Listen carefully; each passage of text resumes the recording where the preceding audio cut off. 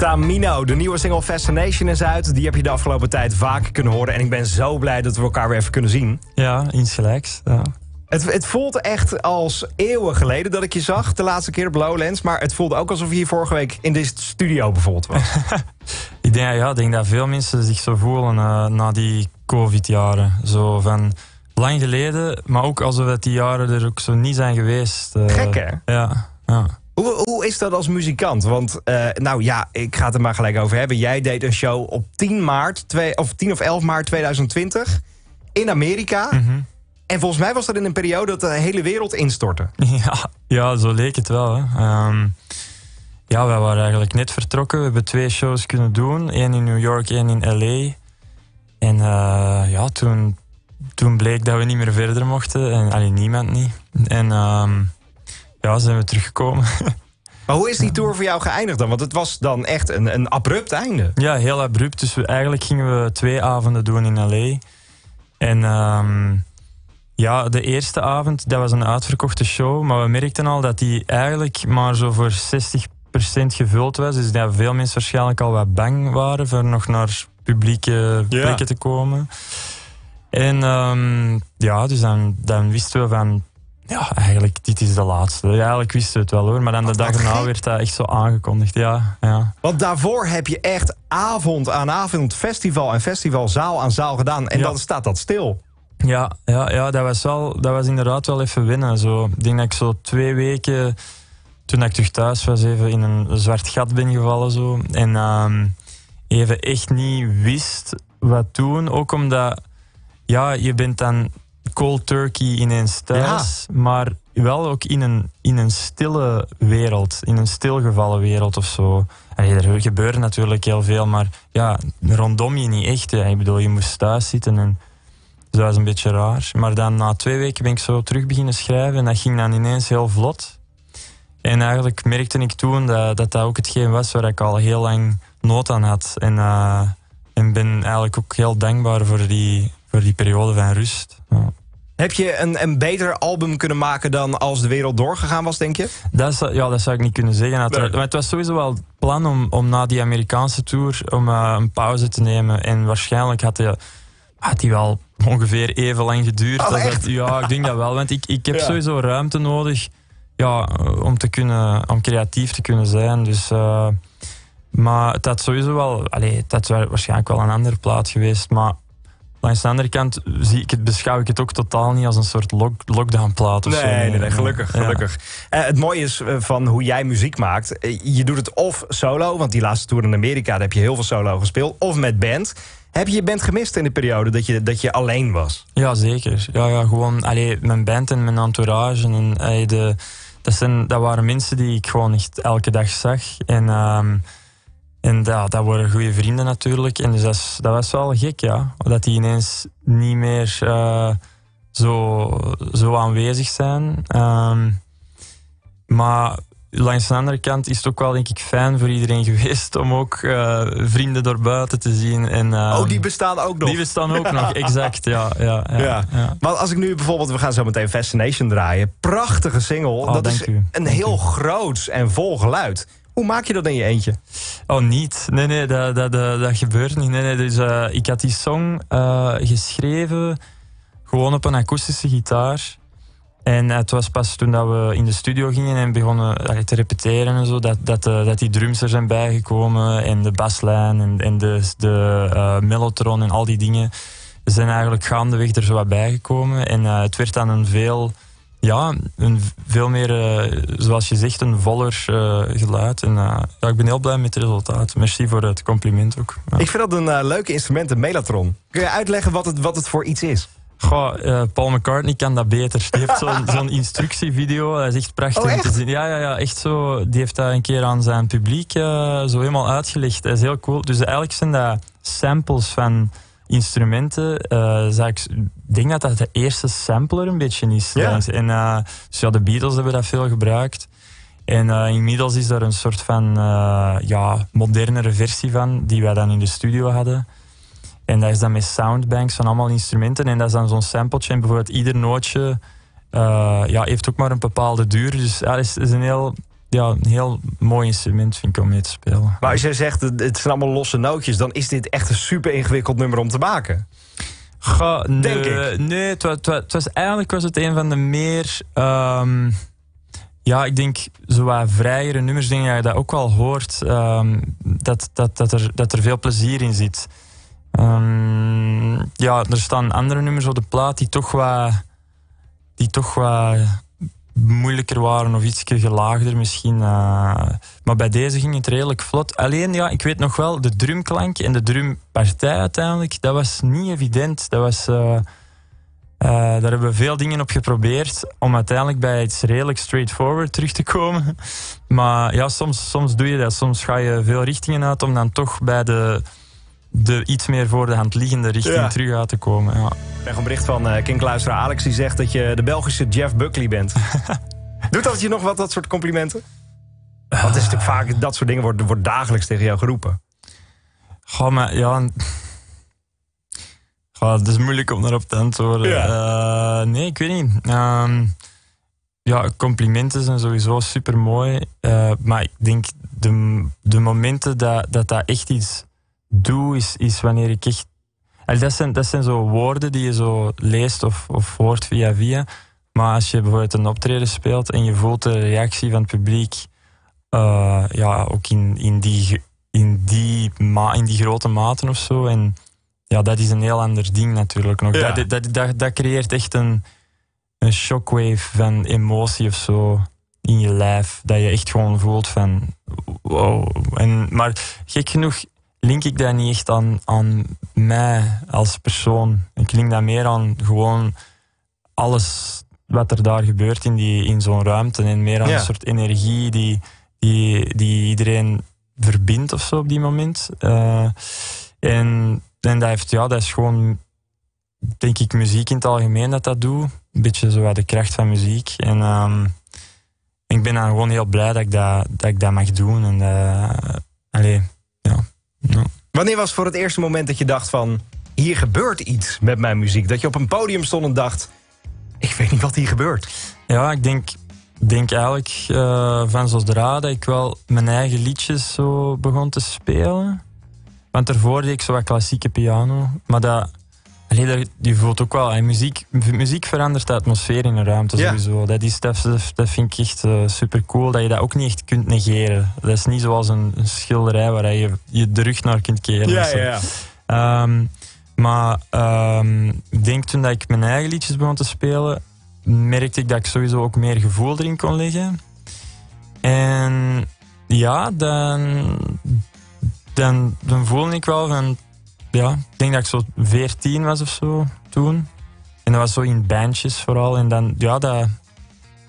Ja, toen ongeveer.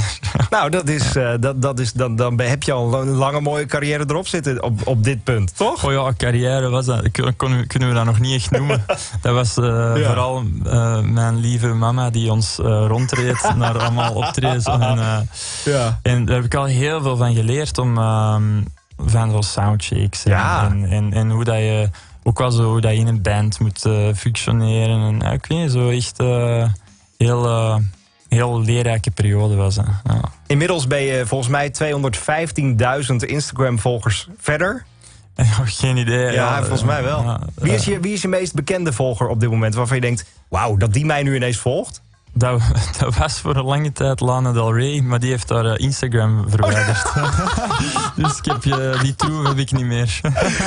oh ja, dat is waar. Ja, dat Lana Del Rey. Heb je, heb je ooit gedM'd met haar ook? Ja, ja, ja, ja. Dat was, ja, dat was, ja, dat was heel raar natuurlijk. Van, huh, stuurt hij mij nu? Uh, ja. Ik geloofde dat eerst niet. Maar dat was nadat ik een nummer had uitgebracht, Persephone. En zij had zoiets gestuurd van dat ze dat, ze dat mooi vond of zo. En dan dat, dat haar zus... Uh, haar zus maakt foto's en die had ook een boek dat, met dezelfde naam, met Persephone. Ja, dus, uh, Heb je daar print screens van gemaakt? Want ja, ja, het is nu dus weg. Ah, ik weet dat eigenlijk niet. Heb ik dat? Ja. Uh, ja, nee. Ja, je zult mij op mijn woord moeten geloven. nou, bij deze. Het is op de radio, dus ik geloof je daarin. En hoe is sowieso de muziekscene in België voor jou? Want ik hou heel erg van muziek uit België. Er mm. gebeurt daar zoveel met nieuwe bands, met nieuwe artiesten. Hoe, hoe zit je daarin? Uh, op welke manier? Nou ja, de, hoe, hoe vind jij de muziekcultuur in België? Ah, ook heel goed. Ook, maar ook in Nederland hoor. Echt, uh, ik vind dat, want ik heb hier gestudeerd in Amsterdam. Ja. En ik heb hier onwaarschijnlijk veel getalenteerde muzikanten leren kennen en goede vrienden gemaakt. En uh, ja, ik moet wel zeggen dat ja, je, je had uitvernoemd bijvoorbeeld. Ja. Uh, ja, die vind ik fantastisch. En ook, dat zijn ook vrienden. En ehm, ja, um, ja, ik weet niet. Ik vind, ik vind dat sowieso dat er heel veel talent komt uit zowel Nederland als België. En, maar het is waar, ja, toen, ook, ook, uit België komt er ook echt heel veel goede dingen. En er zijn veel uh, bands waar ik vroeger heel veel naar heb geluisterd en nu nog steeds hoor. Maar die, die echt ook veel hebben betekend voor mijn vorming als muzikant. En die, die uit België kwamen, zo Deus bijvoorbeeld. Afgelopen weekend heb ik ze nog gezien op Best Kept Secret. Hoe was het? Is, het? het is zo goed. Mauro is weer officieel bandlid. Ah, ja, Hij is terug. Ja, ja, ja. dat is fantastisch. Ja. Ik zit een beetje door jouw uh, lijst met Some of My Favorites heen te gaan. Er staat sowieso muziek van Jay-Z, Kanye West in. Het is fantastisch. Kendrick Lamar staat erin. Uh, iemand die ik ook afgelopen weekend heb gezien... waarvan ik denk, wauw, fijn dat die in jouw playlist staat. Ik zag Nova Star met Mars Needs Woman. Ja, ja, ja, ja. Hoe komt die in jouw lijst terecht en wat, is je, wat heb je met dat liedje? Uh, ik vind dat gewoon een keigoed nummer. En, maar ik vind ook Nova Star vind ik ook echt een, een heel, heel goede artiest. Een ongelooflijke zanger. Met een goede songwriter. Echt uh, ja, ja, sterke... Altijd als ik iets van hem hoor, dan denk ik, my cool. Mars Needs Woman, Nova Star uit de lijst van favorieten van Tamino. Prachtig. Ja, heel, heel prachtig. Ja. Zijn er ook van die grote schrijfsessies en zo in België? Dat jij dan met Nova Star gaat zitten, dat Tom Barman er weer bij komt? Uh, van die mythische verhalen van vroeger uit de jaren 60 dat je Janis Joplin had. Dat er uh, komt dan weer de Doors erbij. Maar, ja, maar ik denk, goh, ik denk echt dat de tijden daarin zijn veranderd. Uh, ja.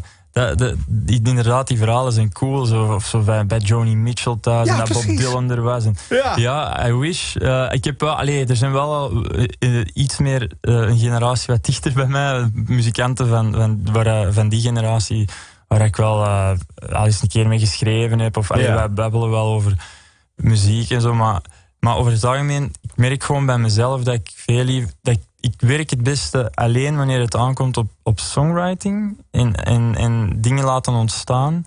En ik, ik betrek liever een beetje later andere mensen. Ja. Uh, ik ben, ja, ik, ik, totdat het tegendeel wordt bewezen. Hè, maar ik vind dat wel ja, moeilijk om zo van scratch iets te maken met iemand anders in de ruimte. Uh, zelfs, al, zelfs al is die niet mee aan het schrijven. Oh, ja? gewoon, uh, Oh, gewoon, wow. gewoon, ik wil echt alleen zijn. Dat zijn heel intieme momenten eigenlijk. Van, uh, van ja, van zo een nieuwe song te laten ontstaan. Ja, dus, ja. Ik ben zo blij dat je er bent, want uh, 2019 na Lowlands hebben we elkaar niet meer gezien. Heb je, heb je ook een tijd gedacht van, wat moet ik nou als muzikant? Want je was dus op tour in Amerika, die show stoppen, die twee weken daarna waren heel zwart. Hoe heftig was dat dan voor jou? Want dan zit je dus ineens... Hoe, hoe, hoe heb je die weken doorgebracht? Ben je bananenbrood gaan bakken? Ben je gaan tuinieren? Wat heb je gedaan?